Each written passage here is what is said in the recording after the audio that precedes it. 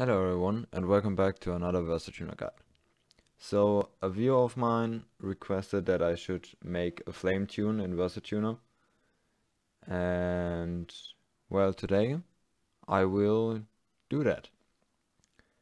So first thing you want to do is go into oil control, oil injection, load and increase the oil injection amount for the OMP by 20%. So go ahead and type in 1.2 in the multiplier tab and just click multiply.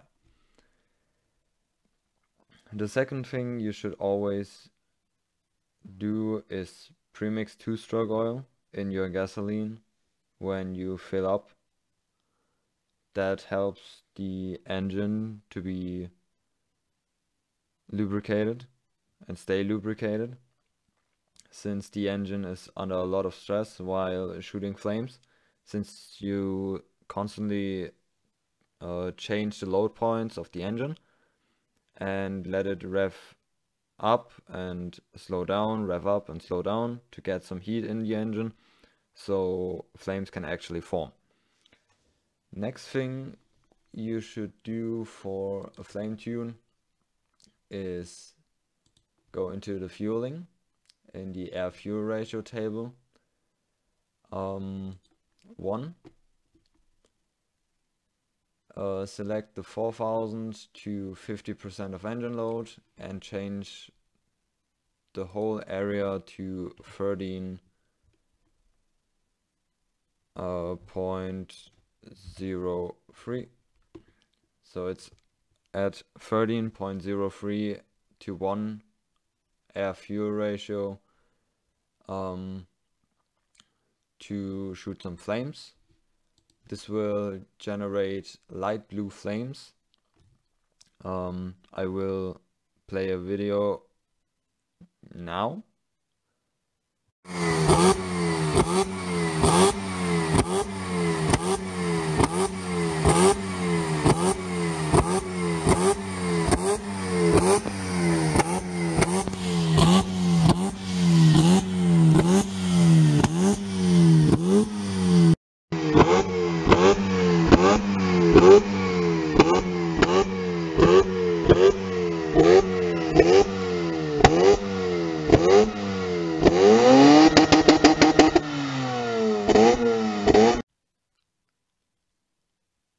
There you go.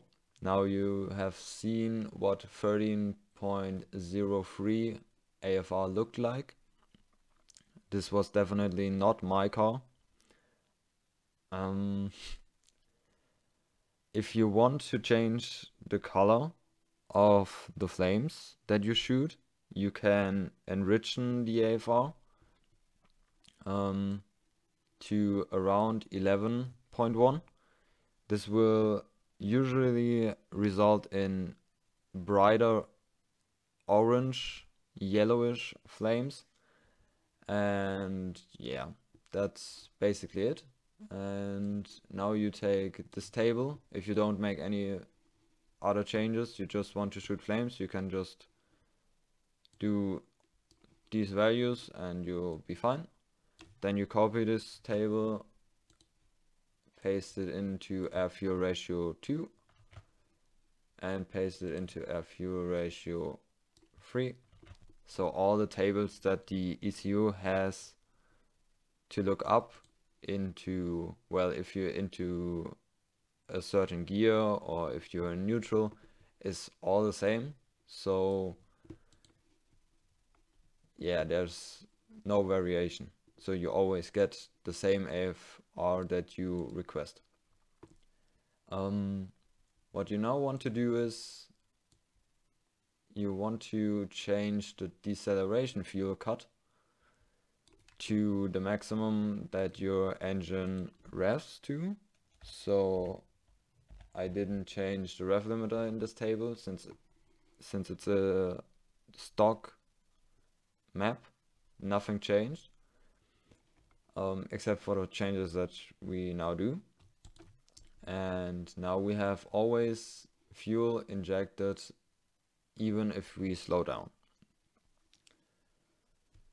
Um,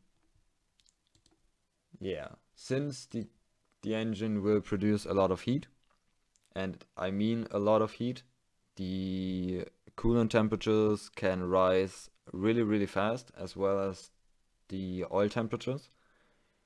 So if you don't have an oil gauge, oil temp gauge, I mean, you should stop after like 15 to 20 seconds of shooting flames because the oil gets really hot and you rely basically on the oil to cool down the inner parts of the engine since the Wankel design is yeah. Well you need to keep the oil temps down to keep the engine cool. Um, so what you want to do is um, set the primary fan to a lower value let's say 90 so your coolant doesn't get too hot. Um, since if you keep the coolant pretty cool, the oil temperature will usually not rise that fast as if the coolant temperature is really hot. So if you're stationary and you're just revving it in a parking lot or on a back road.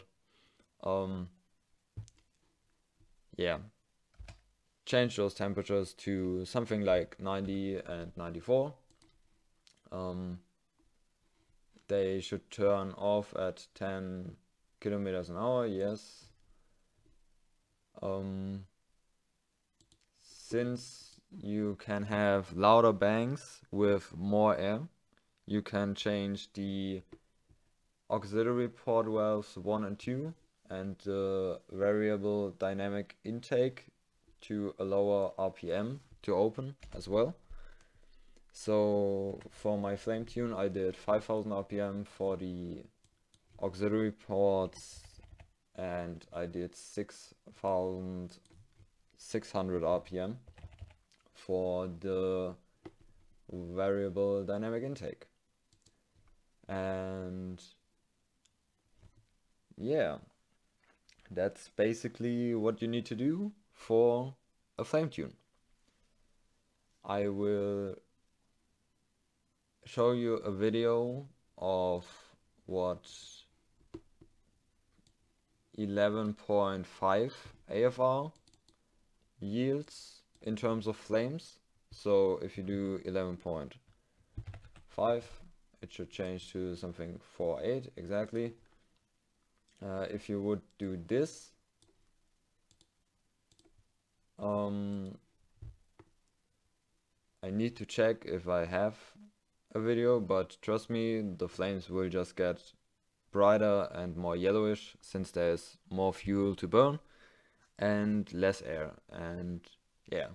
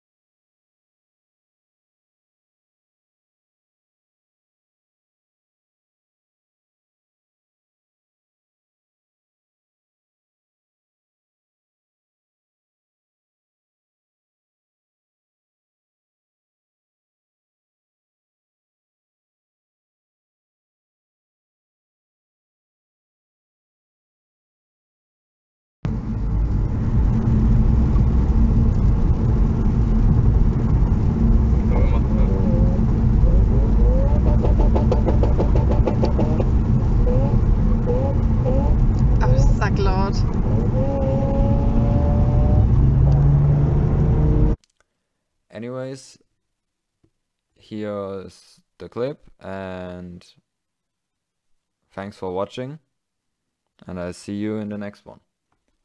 Bye.